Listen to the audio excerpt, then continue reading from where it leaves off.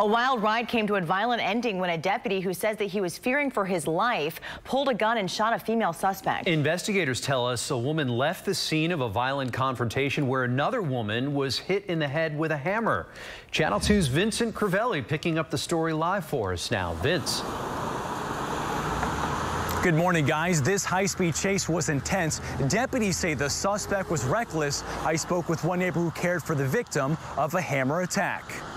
Yeah, it was a big just hole in her forehead. Frances Nanning describes a terrifying situation last night. She says her neighbor was struck in the head with a hammer around 1030. She came running over here. Fort Bend deputies say two women were arguing over money. Things escalated, and 30-year-old Starlisha Baker, a guest, attacked the homeowner. A rag to put over her head to kind of contain the bleeding. Nanning called 911 while Baker took off in her Chevy Camaro. It's, it's a little scary. Authorities say they caught up with Baker. Then there was a chase topping 100 miles per hour, mainly on Highway 99. Then Baker got off on Bellfort. Spike strips were deployed, and the Camaro's tires were blown. Deputies tried to stop her.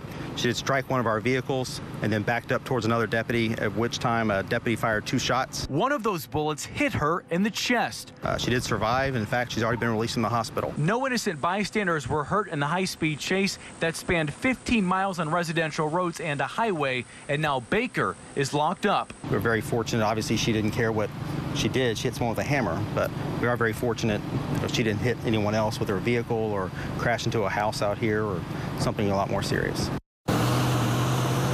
And the victim has not been identified, but they were released from the hospital. Meanwhile, Baker is locked up charged with aggravated assault with a deadly weapon and evading arrest. Both are felonies. Reporting live from Fort Bend County, Vincent Crivelli, KPRC, Channel 2 News.